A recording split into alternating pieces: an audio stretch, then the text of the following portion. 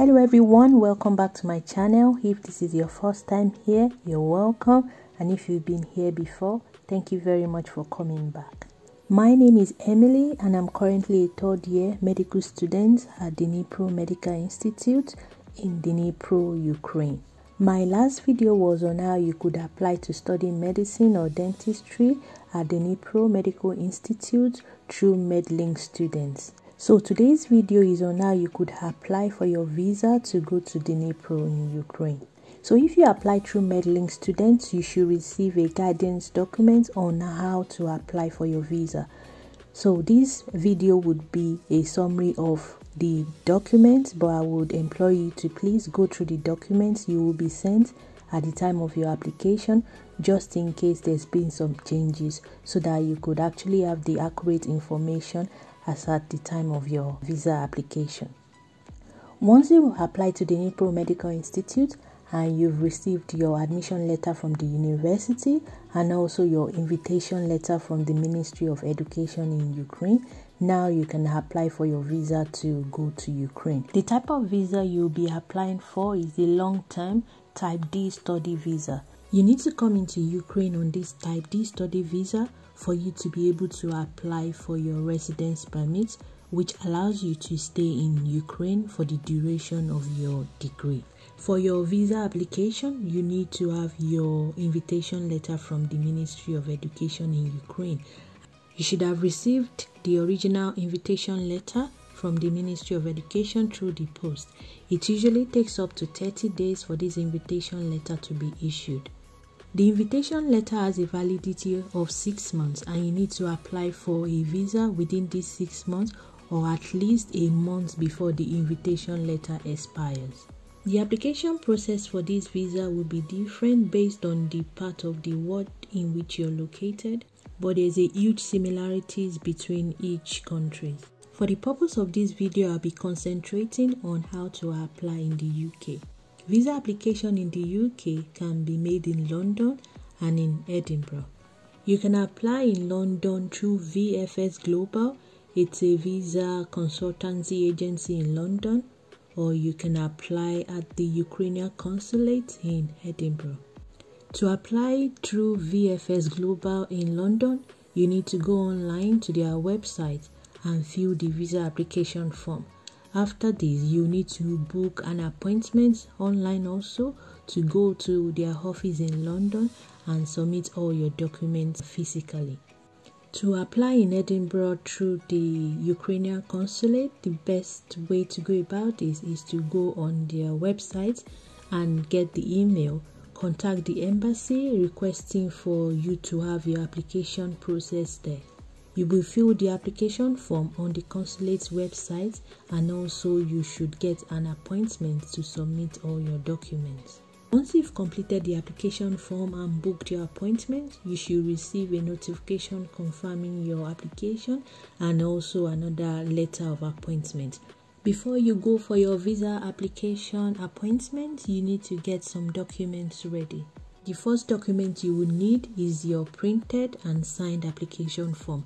The application form which you filled online, you need to print it, then you need to sign this application form and bring it along to the visa appointment. You might also be required to show a letter of appointment, so it would be nice for you to have a copy of this also. The next document you will require is your passport. Make sure that your passport is valid at least with 10 months validity on the passport. If it doesn't have up to 10 months, it will be better for you to get a new passport before you make your application.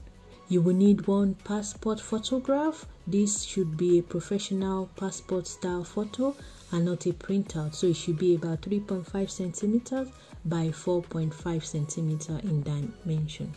The next document would be your letter of invitation that has been issued by the Ukrainian Ministry of Education. Bring the original of this invitation letter, not the uh, printout. This needs to be the original one, the hard copy of this letter which you received in the post. The next document will be proof of medical insurance covering your stay in Ukraine.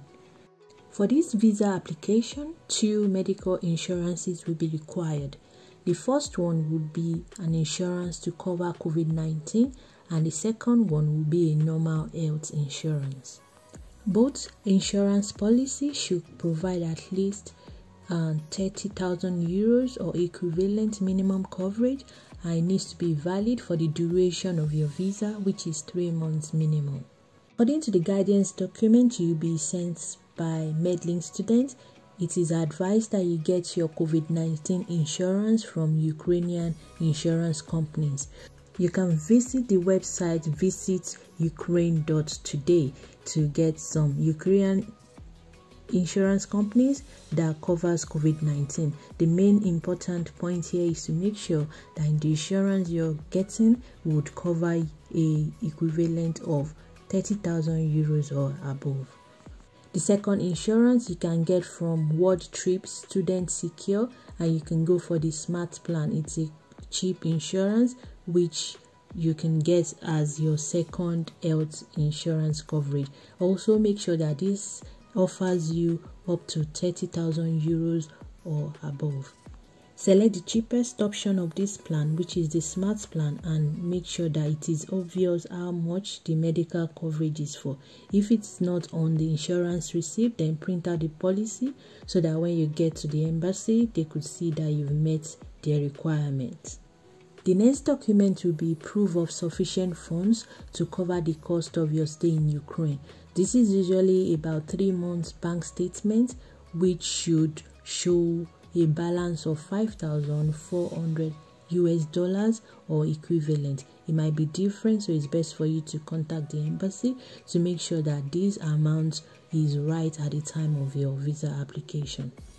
If the bank statement is in your parents' name or your guardian's name, they need to provide a letter saying that they accept the responsibility to support you financially during your stay in Ukraine. This letter must state their names, their relationship to you, and that they will be financially responsible for you throughout your studies in Ukraine. Outside all the documents you'll be required to bring to your appointment, you will be asked to pay a one time embassy processing fee, which is usually around £348 for a UK applicant. VFS Global might also charge an additional fee for processing your application. And also, if you like your passport and your documents to be posted back to you, you can come with a trackable postal order which is addressed to your home address. VFS Global offer this service where you could pay a small charge, I think 38 pounds, to get your document posted back to your home address. Once you've been to your visa application appointment and you've submitted all your documents, your visa will usually take about 10 working days for it to be issued unless the embassy or VFS Global has told you otherwise. This visa will be valid for 3 months which is around 90 days so you need to go to Ukraine to register and apply for your residence permit within these 90 days. In Ukraine, you will apply for your residence permit, and this residence permit is valid for the duration of your stay in Ukraine. So, in conclusion, I will just give some tips in relation to your visa application. The first one will be to start your application early because it might be hard for you to get appointment around September October time due to the amount of people that will be looking for appointment at that time. So the earlier you get your appointment sorted, the better.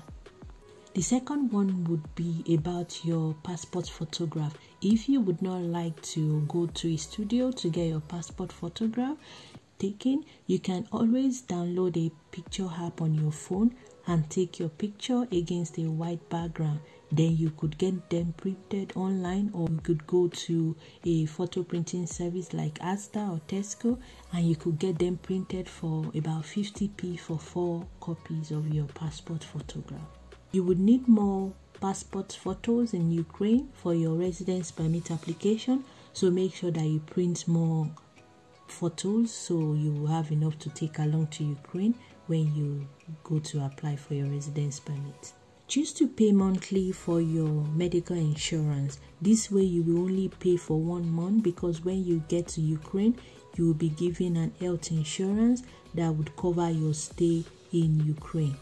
So once you get to Ukraine, you can decide to cancel your insurance policy from the UK. Once you apply for your medical insurance, you should get an email confirmation and this is what you will need to print out and take with you to your visa application appointment.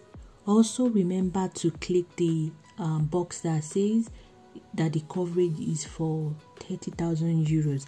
This is the only way in which your uh, insurance would meet the requirements for the visa application, it needs to be at least 30,000 euros or above. So you need to make sure that while applying, you have clicked the box that says 30,000 euros. My last tip would be to choose a 90 days duration while applying for your insurance. This is because it is charged per day. So if you choose three months, which is more than 90 days, then it will be more expensive. So make sure that your start date and your end date is for the 90 days period within which your visa would be valid. So that pretty much concludes everything about the visa application. As I said earlier, please make sure that you go through the guidance document that will be sent by MedLink student so that you would have the accurate information needed at the time of your application. Thank you very much for your time.